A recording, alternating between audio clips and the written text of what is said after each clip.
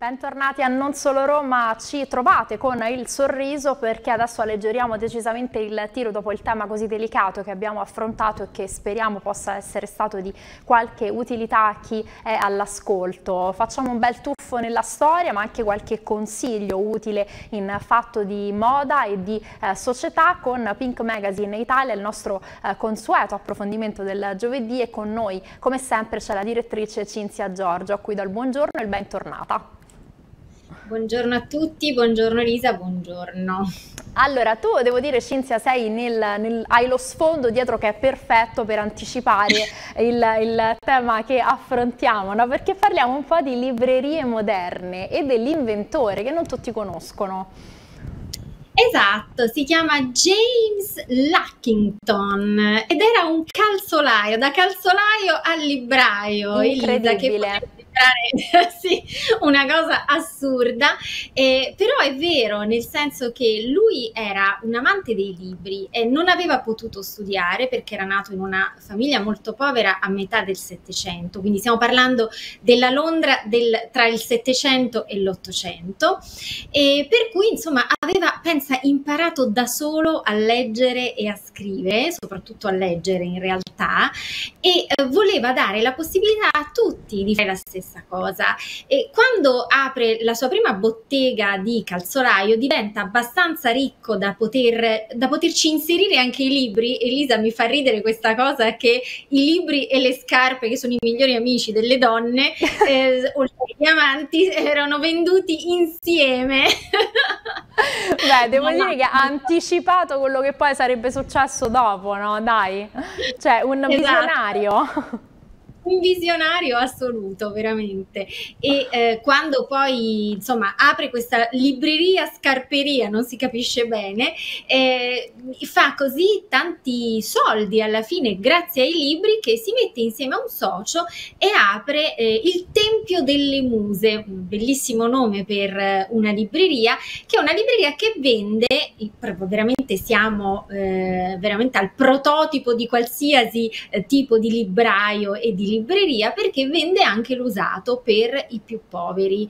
E, ehm, mh, la sua caratteristica che, che mi bello. fa eh, tanto sorridere è che eh, regalava anche i libri, ma se gli chiedevi uno sconto si investiva l'IVA e ti mandava fuori dalla libreria. Per cui Insomma, c'è una visione un po', ecco, bella indirizzata, no? Ecco, dai, era insomma caparbio, ecco, lo potremmo definire sì, così. Sì.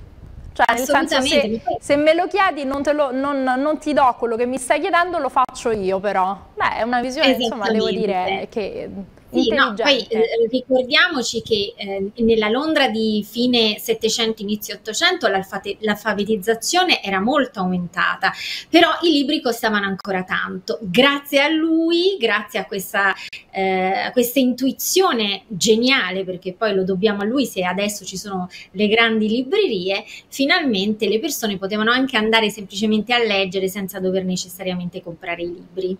Ecco, e poi è davvero, devo dire, geniale, come hai detto tu, la questione, no? Eh, insomma, calzolaio, libraio, cioè incredibile come la vita possa cambiare da un, da un momento all'altro, da un momento all'altro in questo caso non proprio, però insomma se si vuole davvero qualcosa, no? Cioè un bel messaggio sì. anche, devo dire. Sì, un messaggio che l'amore per la cultura, per la diffusione della cultura, per fare in modo l'amore verso gli altri, perché lui chiaramente amava gli altri per eh, volere così tanto eh, aprire l'opportunità di leggere a tutti tutti, per cui possono portare veramente lontano e cambiarti la vita in meglio in questo caso. E lo ringraziamo davvero. E il secondo argomento invece che trattiamo, in realtà i due argomenti, eh, gli ultimi due che trattiamo sono in realtà un po' collegati tra di loro perché siamo in piena stagione estiva, i nostri ascoltatori se ne sono resi conto, fa caldissimo, oggi è bollino, bollino rosso e d'estate purtroppo c'è una piaga, devo dire, ignobile che è quella dell'abbandono degli animali animali. Ci sono tante eh, campagne in atto, però sembra che il messaggio a tanti non arrivi purtroppo, Cinzia, e questo è davvero agghiacciante. Sì, e ogni anno il fatto che il Ministero si debba ingegnare per promuovere promuovere un'ennesima campagna, quest'anno si chiama Inseparabili in vacanza, è una cosa triste. Eh, diciamo che partiamo con un dato positivo però Elisa, perché altrimenti ci, ci deprimiamo. Sì. E il dato positivo è che sono diminuite notevolmente eh, i casi, sono diminuiti i casi di abbandono di animali, soprattutto di cani in realtà. Ehm, il gatto a quanto pare dalle statistiche si fa più, eh, è più facile eh, che diciamo affidarlo a qualcuno perché è meno impegnativo, ma il cane purtroppo no. E eh, quindi sono tantissimi i casi di abbandono. Quest'anno sono un po' di meno per il momento, chiaramente, perché purtroppo l'estate non è ancora, purtroppo per fortuna, l'estate non è ancora finita, però diciamo che la tendenza è alla diminuzione, quindi questo è già un dato positivo.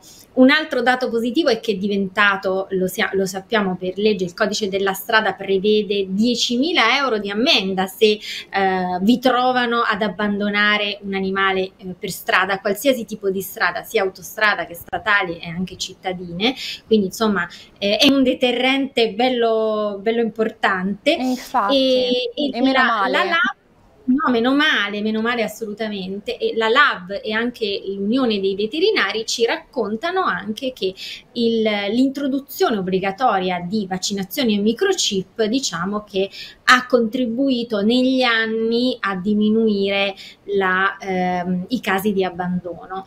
Eh, certo, ci sono però mh, diciamo abbandoni e abbandoni, ci sono anche casi in cui magari il padrone non può proprio occuparsene perché è impossibilitato e allora in questi casi che cosa fare? Il Ministero ci dà un elenco anche di eh, chat rescue, così si chiamano, eh, dove poter raccontare la propria problematica, dire io devo... Eh, fare un'operazione, devo andare da qualche parte, devo mancare per un tot di mesi, che cosa posso fare? E quindi queste chat diciamo aiutano la, eh, il ricollocamento eh, del, dell'animale domestico. L'animale domestico, ricordiamolo, eh, non è un giocattolo, eh, non va regalato come un giocattolo perché spesso si confondono le cose, è un essere Vero. vivente e um, entra a far parte di una famiglia e quando entra diventa un membro della famiglia.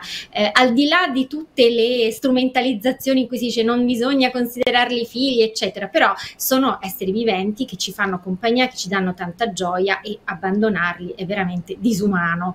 Eh, diventiamo noi le ecco, questo ci tenevo a, sottolinearlo al di là di tutto. Poi ci sono ormai veramente tanti modi per lasciarli in qualche struttura apposita. Eh, esatto, eh, Cinzia, di... diciamolo, no? piuttosto che abbandonarli in mezzo ad una strada sotto il caldo con il rischio che possano essere investiti o che possa succedere chissà che cosa a questo animale che ci ha dato tanto amore e tanta fedeltà, a quel punto meglio lasciarlo in strutture che, dove ci sono eh, specialisti che possano prendersene cura o magari farlo adottare da un'altra famiglia, no? Cioè il, il, è, è molto meglio così, no?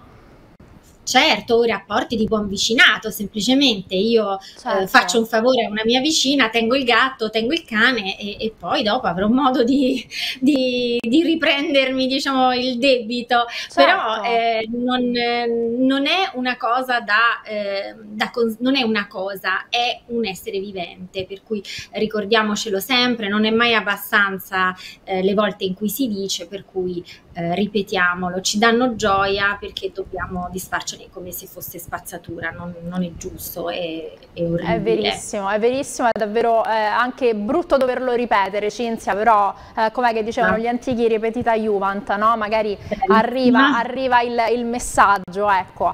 Eh, concludiamo con, eh, insomma, fa caldo, l'abbiamo detto, si toccano punte di 40 eh, gradi, li abbiamo anche superati penso, ma quanto è difficile effettivamente stare in ordine d'estate, Cinzia, cioè difficilissimo secondo me è praticamente impossibile in alcuni casi. Questi giorni di bollino rosso poi è, veramente dura, è veramente dura. Eh, di nuovo interviene il Ministero della Salute stavolta con eh, chiaramente un pamphlet che si può scaricare anche dal nostro sito e, ehm, che rimanda direttamente al pamphlet e nel quale appunto ci, ci dice, eh, ci dicono gli esperti che che cosa fare e che cosa non fare.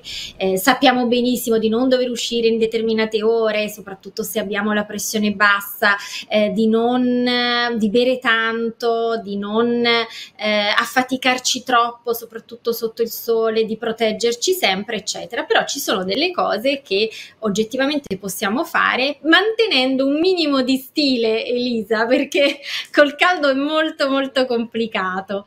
E, ehm, e noi insomma eh, abbiamo individuato quattro eh, cose diciamo che vanno oltre chiaramente eh, i, i, rimedi eh, istituzionali. Ecco, e, e cioè diciamo no, tra virgolette.